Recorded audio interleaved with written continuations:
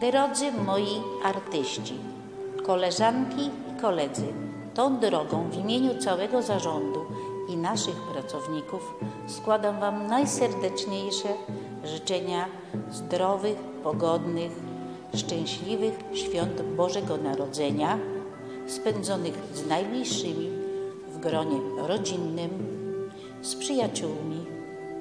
Niech te święta będą dla nas oazą spokoju, radości, miłości, pojednania, wzajemnego wybaczania sobie przy wspólnym stole. Uśmiechnijmy się do siebie.